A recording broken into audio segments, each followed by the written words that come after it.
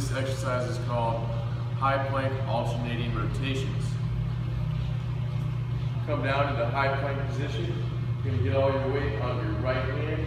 Rotate up, turning your thumb up towards the ceiling. Getting a big rotation through that thoracic spine. Come down, alternate sides. You're gonna keep your vision down on the hand that's holding you up on the ground. Stabilize you well through alternating shoulders.